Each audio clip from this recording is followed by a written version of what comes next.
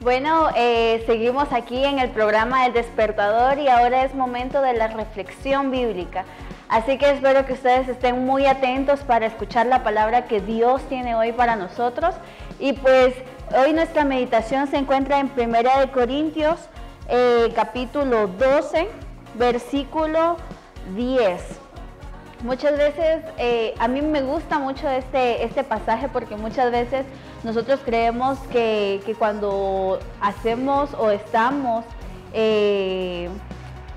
estamos en nuestro, en nuestro hogar y a veces pasamos por dificultades o pasamos por pruebas eh, que son muy difíciles para nosotros y nosotros nos sentimos muy débiles, sentimos que no podemos, sentimos que, a veces nos cuesta realizar las cosas y, en realidad eh, Dios tiene algo preparado para nosotros detrás de, todo eso quizá malo que podamos ver que hay,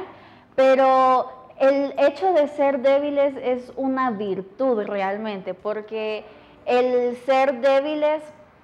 a veces nos muestra nuestra propia humanidad y nos muestra que seguimos siendo humanos y ya no nosotros dependemos de nosotros mismos o de algún ser humano, sino que dependemos de Dios. Eh, en 1 Corintios eh, capítulo 12, versículo 10 dice, me alegro de ser débil, de ser insultado y perseguido y de tener necesidades y dificultades por ser fiel a Cristo, pues lo que me hace fuerte es reconocer que soy débil. A veces nosotros, porque nosotros empleamos nuestras propias fuerzas, se nos olvida que no somos nosotros los que nos mantenemos con vida, sino que es Dios el que nos da la vida. Así que yo le animo a usted a que usted no se sienta mal por ser débil, porque a veces eh, hay pequeñas cositas que nos hacen sentir así, quizá una palabra de alguien, un gesto de una persona, quizás hay algún problema o una dificultad que usted sienta de verdad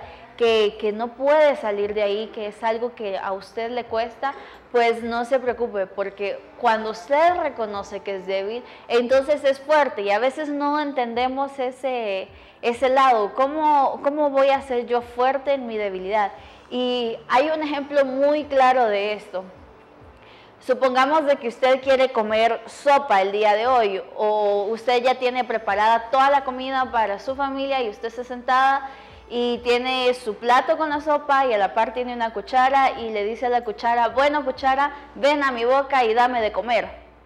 Realmente es algo eh, ridículo, ¿verdad? Es algo que no, no va a suceder nunca. La cuchara nunca nos va a decir, está bien, yo te doy de comer y se va a mover solita y va a ir llegar a nuestra boca. Eso es algo que nunca va a suceder. Ese es un impedimento, podríamos decir, que tiene la cuchara. No puede hacer las cosas sin que haya alguien que la mueva, sin que haya alguien que, le, la tome y que la lleve al lugar indicado que sería nuestra boca, ¿verdad?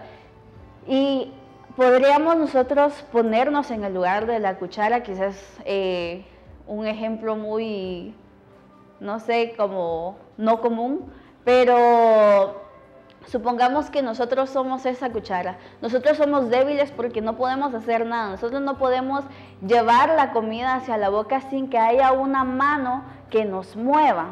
sin que haya algo que, nos, que nos lleve a hacerlo. Y por eso es de que cuando nosotros estamos en esos momentos de dificultades, cuando nos damos cuenta de que no podemos hacer nada sin la ayuda de Dios, sin la mano de Dios. Y a veces lo único que tenemos que hacer es dejar que Dios nos utilice, dejar que Dios sea el que nos mueva hacia el lugar donde Él quiere que estemos, hacia el lugar indicado para nosotros, porque a veces nosotros creemos que, que nosotros podemos hacer las cosas o que nosotros vamos a llegar solos a algún lugar o que nosotros vamos a hacer algo, pero se nos olvida que no son nuestras fuerzas las que nos mantienen vivos, se nos olvida que no son nuestras fuerzas las que nos ayudan a salir de los problemas, son las fuerzas que Dios nos da. Por eso dice que cuando somos débiles, entonces somos fuertes, porque cuando somos débiles reconocemos que somos unos simples seres humanos y que es Dios el que nos va a ayudar y es la fuerza de Dios la que actúa en nosotros y eso es lo que nos hace más fuertes, porque no es una fuerza humana, no es una fuerza que viene dentro de nosotros, es una fuerza que sale de Dios. Y entonces eso nos va a ayudar a nosotros a sobrepasar cualquier dificultad, a poder eh, ir más lejos de lo que nosotros pensábamos que íbamos a llegar. Porque cuando nosotros ponemos nuestras debilidades en las manos de Dios, es cuando Dios nos ayuda, nos cambia y nos hace ver otra, de otra forma la vida, nos hace tener una nueva perspectiva de vida y eso nos ayuda a nosotros. Así que yo le invito a que este próximo año que viene usted no se enfoque en, en sus debilidades o en cambiar esas debilidades, más bien preocúpese por servir a Dios y dejarse usar por Él, porque entonces la fuerza de Él es la que va a actuar en nuestras vidas. Sea lo que sea que usted se proponga este próximo año 2015, espero que usted recuerde estas palabras y recuerde este versículo, porque cuando soy fuerte, cuando soy débil, perdón, entonces soy fuerte. Y por eso el apóstol dice, me alegro de ser débil, de ser insultado y de ser perseguido esas cosas que nos hacen a nosotros sentirnos mal, esas cosas que nos hacen a nosotros desfallecer, esas cosas que quizás nos lastiman mucho y nos hacen llevar quizás rencores o, cualquier tipo de, sentimiento que nos vaya a afectar en nuestra vida personal y en nuestra vida también en comunidad. Eh, esas cosas son las de menos. Usted alégrese por eso porque en esos momentos es cuando Dios refleja su poder en sus vidas y es cuando Dios realmente actúa sobre nosotros.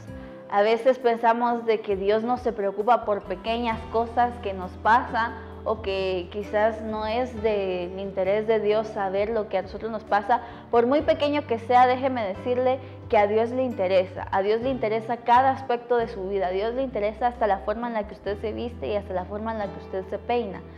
Porque Dios nos ama, Dios nos ve y Dios dice no te preocupes por cualquier dificultad que pueda venir a tu vida, tú levántate porque yo te doy mis fuerzas. Y eso no lo olvide,